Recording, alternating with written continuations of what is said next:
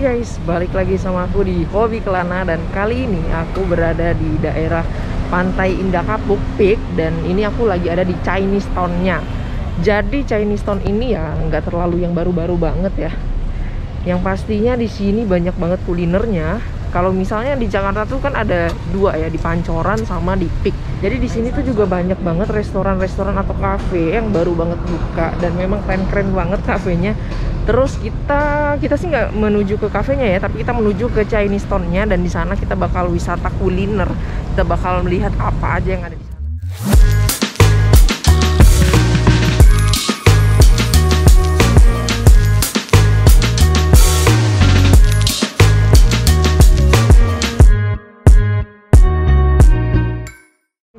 sampai.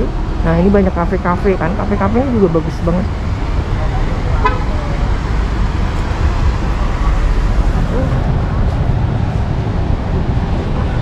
Oke teman-teman ini sekarang kita masuk ke dalam Chinese Town-nya di area sini.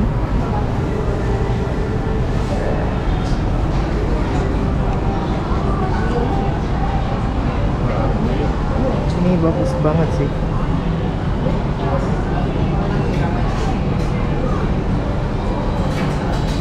Jadi banyak banget kuliner-kuliner yang ada di sini. Ini aku wajibin sama kalian, wajib banget ke sini kalau misalnya ke Jakarta. Di sini banyak banget makanan, tapi kebanyakan makanan non halal ya, karena ini kan Chinese Town, jadi wajar. Yuk kita.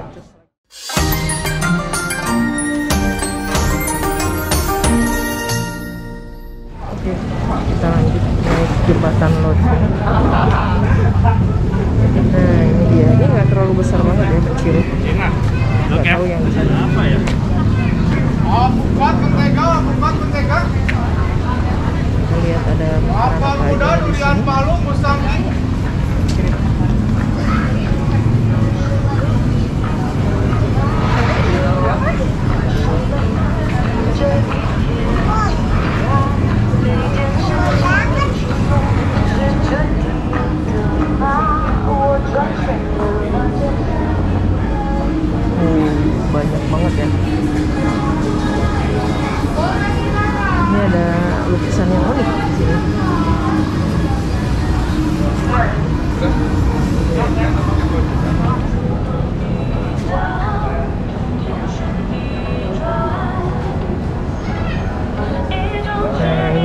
Kita nyobain kulinernya yang ada di sini. Lumayan sih harganya ya. Ini ada kulinernya banyak banget. Jumbo dessert Doku udah lapar banget nih mulutnya. Kayak gini rasanya pengen makan semuanya. Makanannya enak-enak banget pasti.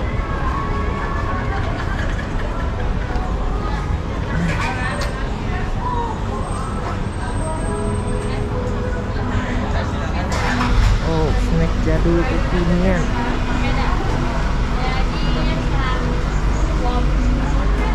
Kita coba lihat-lihat ya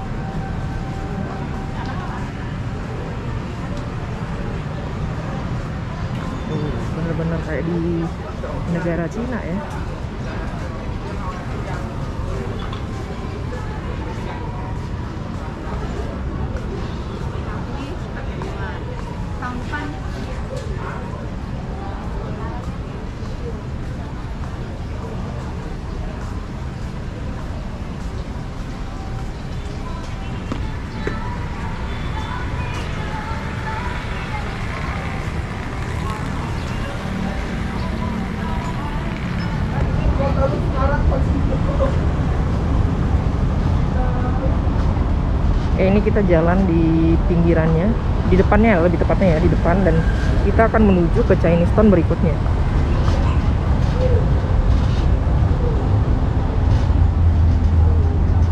Oh, ini seru banget sih. Pas jam segini tuh malah kelihatan banget bagusnya ya tempat ini. Nah, di sini juga boleh bawa hewan tuh kalau teman-teman punya hewan. Di sini boleh bawa ya. Lucu-lucu banget. Oh,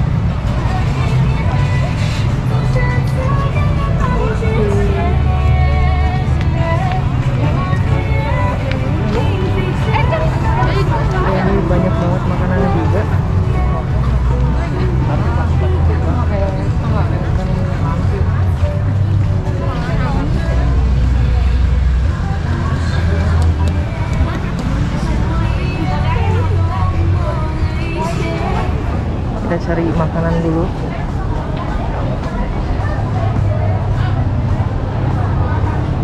Kayaknya di sana lebih kayak banyak banget ya. Kalau di sini kayaknya nggak terlalu banyak.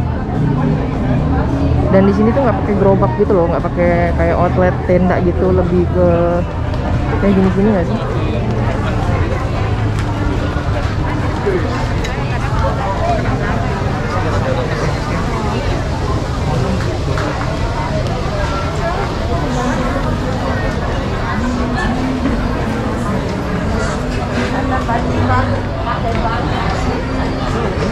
Nah, kalau ini ada tendanya, cuman dia khusus ada tempatnya gitu loh. Ada tempat. Kalau di sini kan kebanyakan ya outlet.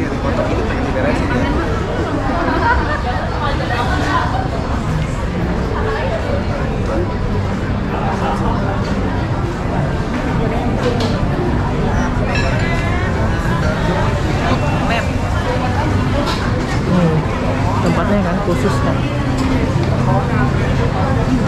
Di sini lebih rame kayaknya. Oh iya. Di sini lebih rame daripada yang tadi ya.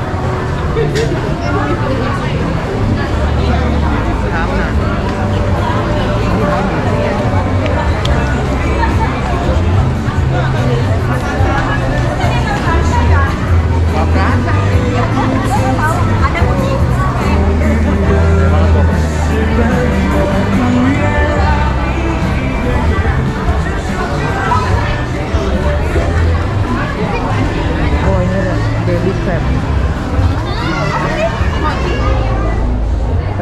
kuliner dulu. Karena aku tertarik sama ini ya.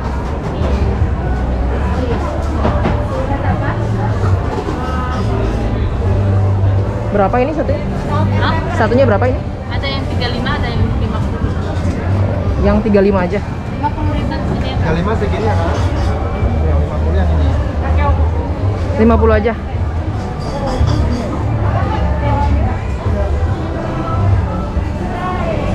Yang crispy ya? 50? Iya.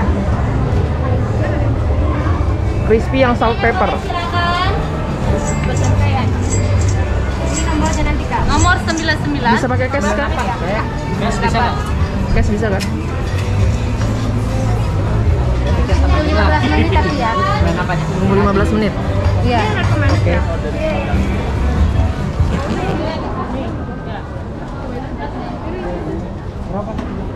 Harganya lumayan.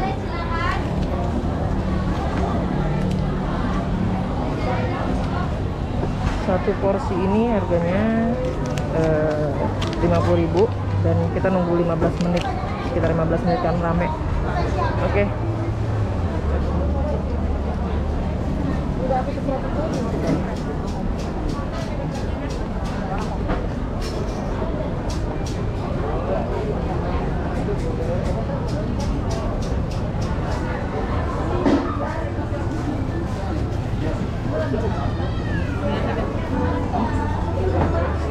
Antrian berapa sekarang, Mbak? Hah? Antrian berapa sekarang? Ini 103. 103.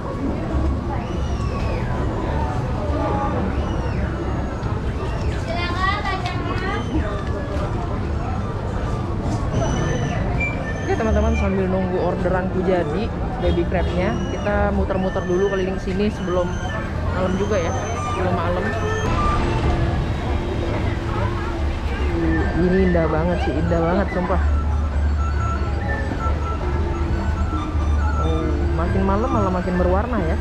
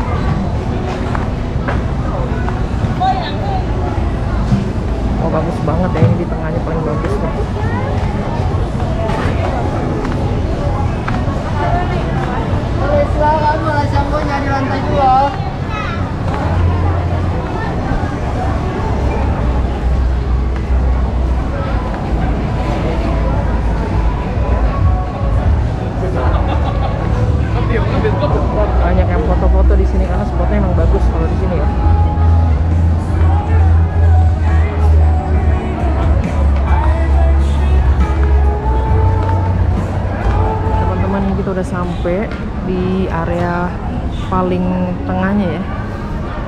Wow, dan ini bisa ada kotak amal, jadi bisa berdoa gitu kalau untuk agama Buddha ya. Hmm. Ini keren banget sih, bagus. Semakin malam malah semakin bagus ya. Oke teman-teman, ini makanannya udah datang, baby crab. Lumayan lama sih tadi kita cobain. Ini makannya tepat di samping patung.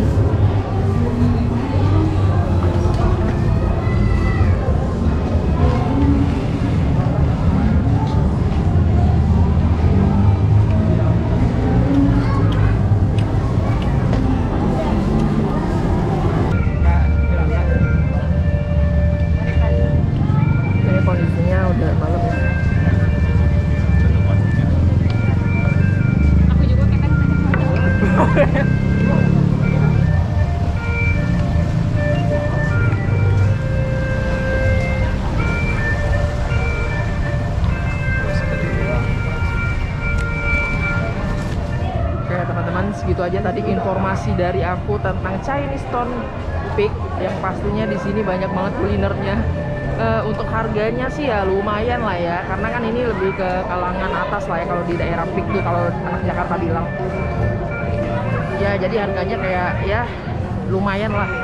Dan menurut kalian untuk harga kepiting yang baby crab itu kan harganya 50.000 terus banyak banget kayak manisan-manisan yang lain tuh harganya kayak sekitar 30.000 ya standar lah ya segitu aja informasinya dari aku. Di sini banyak banget kafe terus banyak banget tenda-tenda yang lainnya. Terima kasih udah nonton video ini. Kita wisata kuliner dulu